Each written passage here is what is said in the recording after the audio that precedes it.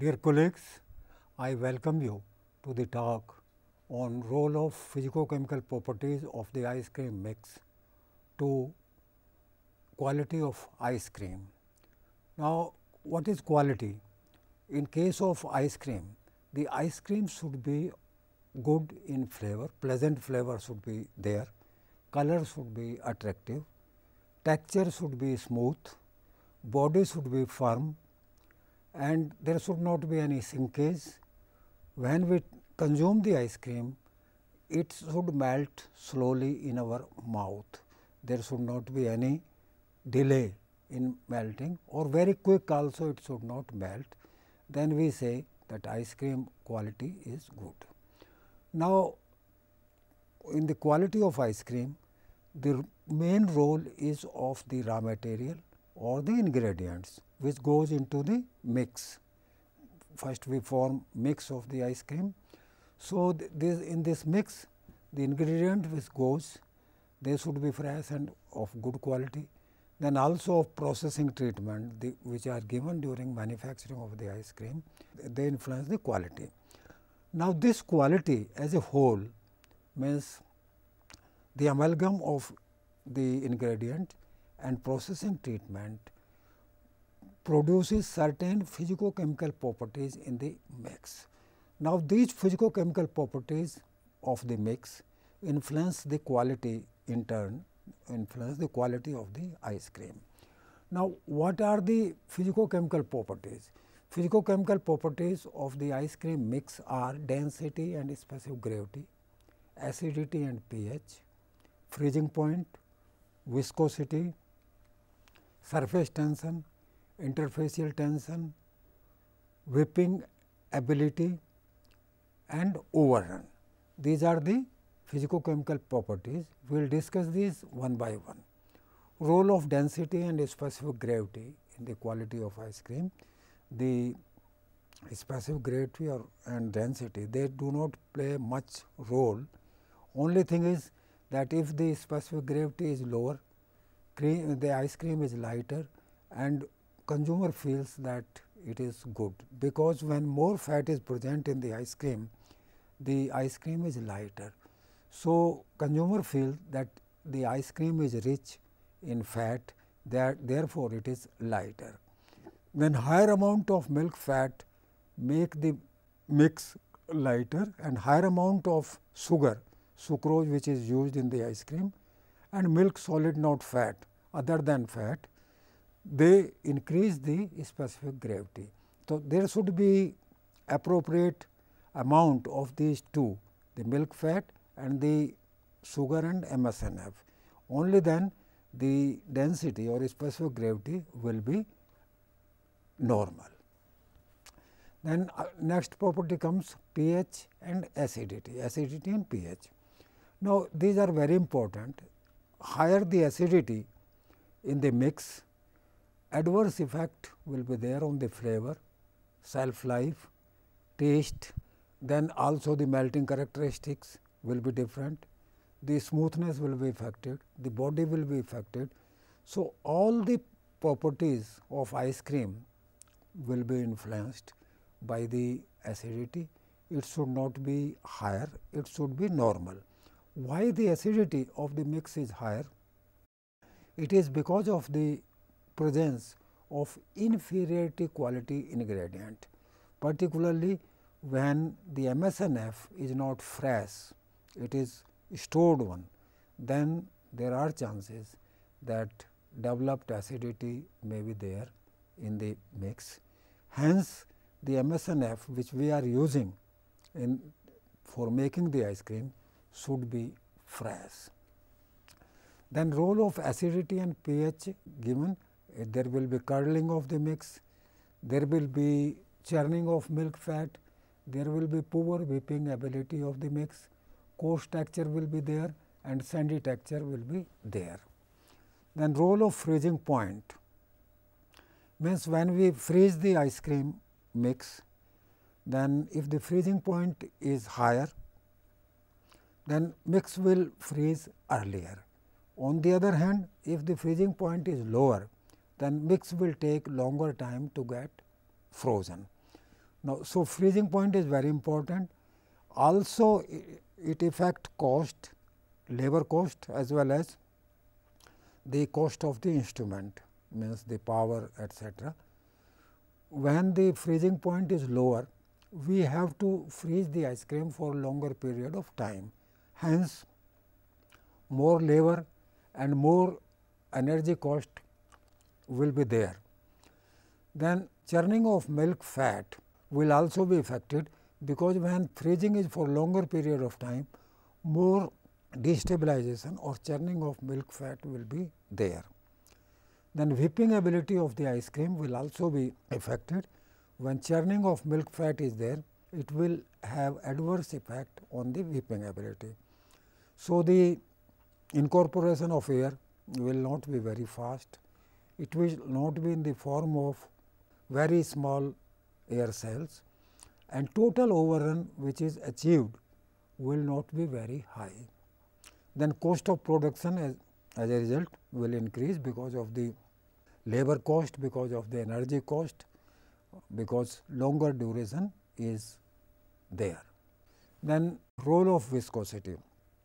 Viscosity influence the whipping ability of the mix. Higher the viscosity, the whipping ability will be very poor.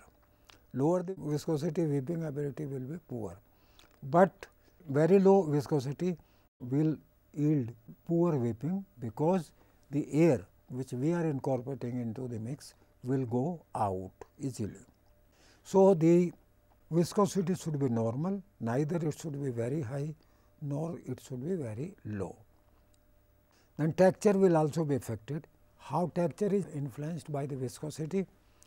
When the viscosity is higher, the you can say there will be hurdle in the movement of water molecules to the crystal surface, to the lactose molecules, to the lactose crystals. Therefore, ice crystals and lactose crystals will be smaller if the viscosity is higher. What make the viscosity higher? the pasteurization, if pasteurization is given at higher temperature for longer duration, viscosity is higher. Also the homogenization of the mix influences the viscosity. Homogenization increase the viscosity. So, if mix is homogenized at appropriate pressure, then the viscosity will be higher. Also the cool aging will increase the viscosity because most of the fat will be converted into solid one, liquid fat will be converted into solid one and there will be interaction between the stabilizers which we are adding and the MSNF and as a result the viscosity will increase. So, this is regarding the viscosity. Then role of surface tension. Now, surface tension is nothing, but it is tension which is there on the surface of liquid. You might have seen that if you drop a needle in a beaker in which water is there, the needle will not penetrate the water, although needle is made up of steel which is heavier than water. Now, why this is there? It is because of the development of a tension or attraction at the surface of water. Why this tension develops? It develops because of the imbalance in the attraction on the molecules. Molecules of water which is at the center, it has got attraction from right, from left, from above, from below and same amount or quantity of attraction is there. Therefore, the attraction is cancelled, it becomes 0. However, at the surface the attraction is only from below and not from the above and as a result of this imbalance in the attraction there a tension develops at the surface which is known as surface tension. Now, this surface tension is influenced by the substances which are dissolved in water. If water is there pure the surface tension is measured in dynes per centimeter. the surface tension of pure water is 70 dynes per centimeter. But if you dissolve something into water, the surface tension will either increase or decrease. Now, increase or decrease will depend whether the substance which you are adding goes into the interior of water or it remains at the surface. If it remains at the surface, it will decrease the surface tension. If it is goes into interior, it will increase the surface tension. Now, this surface tension of ice cream mix is important because it influence the whipping ability of the mix or the incorporation of air. Lower the surface tension, easier will be the incorporation of air. Now, surface tension is influenced by active substances which are surface active. If they are added to the mix, say for example, emulsifiers which are polar in nature, they decrease the surface tension and hence increase the whipping ability of the mix. Role of interfacial tension. Now, as there was a tension at the surface, in interfacial tension this is not the case. It is not of dearth of molecules, but it is because of the less attraction when two liquids are there immiscible liquid are there. Suppose there is a water and oil in the glass or in the beaker. Water will be at the bottom and oil will be at the surface. Now, they form a separate layers. Why the separate layers are there? Because the attraction between the water molecules or between the oil molecules is more compared to what it is between water and oil molecules. So, because of the imbalance in the attraction, this tension is no, uh, created at the interface and hence it is known as interfacial tension. Now, this interfacial tension again influence the incorporation of air. If surface tension is higher, the whipping ability will be poor also this interfacial tension influence the stability of the milk fat in the ice cream mix. If interfacial tension is lower, the fat will get dissolved or it, it will get dispersed into the mix and there will be no formation of butter grains or churning of milk fat. Those substances which are present at the interface, they decrease the surface tension. Say for example, in the case of mix, we add emulsifiers, they get adsorbed on the, on the surface because they are surface active substances. Similarly, the milk proteins which are there in MSNF, they also get adsorbed at the interface and they decrease the interfacial tension. Interfacial tension can be increased or decreased by increasing or decreasing the emulsifiers and the MSNF. And it is important because it influences the whipping ability and ultimately the overrun in the ice cream or the presence of air, how much air is there in the ice cream. Next property is whipping ability. Role of whipping ability. Whipping ability is very important and it constitutes three things. One is rate of incorporation of air, faster is the incorporation of air into the mix, we say better is the whipping ability. Size of the air cell, if this size of the air cell is smaller, we say whipping ability is better, because if the air cells are smaller, the ice cream will be smoother in texture. Then maximum overrun which can be obtained means the maximum air which can be incorporated into the mix these three things consist the whipping ability. Now, whipping ability is the most important property of the ice cream mix, because it influences the incorporation of air, it in influences maximum overrun, it influences the air cells, they are smaller if whipping ability is better and the texture of ice cream is smoother. Now, as we have seen the surface the pasteurization of mix improves the whipping ability, homogenization of the mix improves the whipping ability and cool aging improves the whipping ability. Also the use of emulsifiers improves the whipping ability. So, we can improve the whipping ability of the ice cream mix by pasteurizing the mix at appropriate temperature, homogenizing the mix at appropriate pressure and cool aging the mix at appropriate temperature and for sufficient period of time or with the use of emulsifiers. Then whipping ability is influenced by the stability of milk proteins, then amount of stabilizers. Stabilizer have adverse effect on the whipping ability. Then stability of milk fat or the churning of milk fat.